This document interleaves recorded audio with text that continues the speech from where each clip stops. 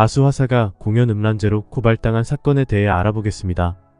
화사는 지난 5월 12일 성균관대 축제 무대에서 tvN 댄스 가수 유랑단 촬영을 하면서 선정적인 퍼포먼스를 선보였는데요. 이때 화사는 마마무의 히트곡 메들리를 로꼬와 함께 불렀던 주지마 무대 등의 퍼포먼스를 선보였는데요.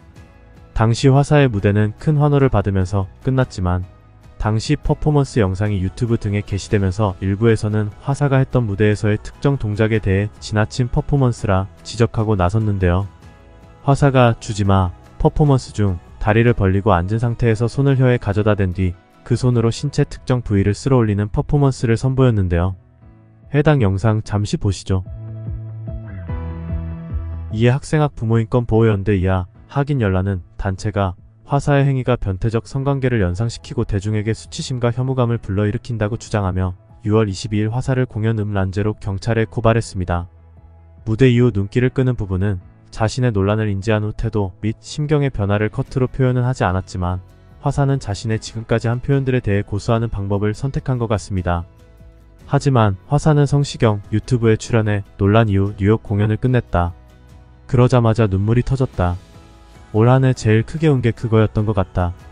눈물이 폭포수처럼 떨어졌다라고 밝히는 모습을 보였습니다. 미주 투어 갔을 때 좀 막 슬퍼하고 있었잖아요. 어. 근데 예전에 저는 그러지 않았거든요. 셌어요 그런 게 어. 성격이 막아 네가 그렇게 해도 나는 더 멋지게 보여줄 수 있어라는 마음으로 항상 살았었는데 이번에 좀 많이 흔들리는구나. 그래서 어. 되게 내 자신을 좀 다지게 되고 뭔가 다시 더 단단해진 것 같고 더 네. 단단해진 화사가 얼마나 센 퍼포먼스를 할 것 같아. 그렇다고 막 제가 사람들이 보내온 질타를 무시한다는 건 아니고 하지만 서울성동경찰서는 화사를 피고 발인 신분으로 소환해 조사한 결과 범죄 혐의를 인정하기 어렵다고 판단하여 지난달 26일 불송치 혐의 없음 처분을 내렸습니다. 경찰은 공연 내용과 과정, 관련자들의 진술, 기존 판례 등을 종합적으로 검토한 후 결정했다고 밝혔습니다. 이에 하기녀는 공연 음란죄란 형법 제245조의 공연 음란죄 소정의 음란한 행위에 해당하는 사실은 변함이 없다라고 전하며 대법원 판시와도 맞지 않기 때문에 상위 기관의 수사와 판단을 다시 받을 예정이라고 합니다. 참 여기도 할 게 진짜 없나 봅니다.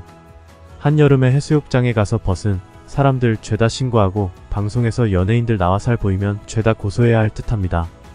예술은 예술로 받아들이면 안 되는지 이해가 안 되네요. 아직도 저런 사람들이 있으니 지금의 갑질 부모들이 더 날뛰는 게 아닌가 싶은데요. 이에 화사의 소속사에서는 화사는 경찰의 조사에 성실히 임하고 불송치 결정을 받았다는 소식을 듣고 안도의 한숨을 쉬었다며 앞으로도 좋은 음악과 무대로 보답하겠다고 말했습니다. 여러분들의 생각은 어떠신가요? 의견을 남겨주세요. 오늘도 영상 시청해주셔서 감사합니다.